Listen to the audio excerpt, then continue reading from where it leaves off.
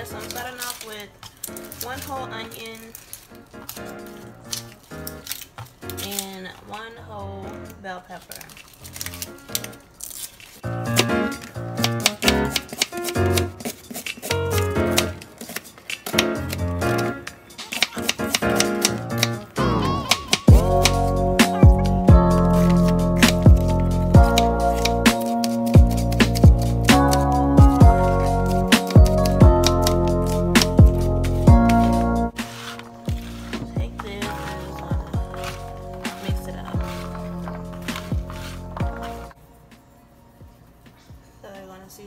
Some cayenne. I mean, um, what's this? Some Creole seasoning, or just your uh, favorite, your all favorite all-purpose seasoning. Some garlic powder,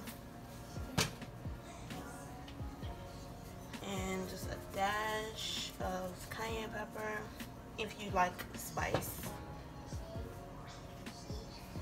and just a dash of onion powder. Some minced garlic. You want to add in some minced garlic. If you have fresh garlic, I would prefer.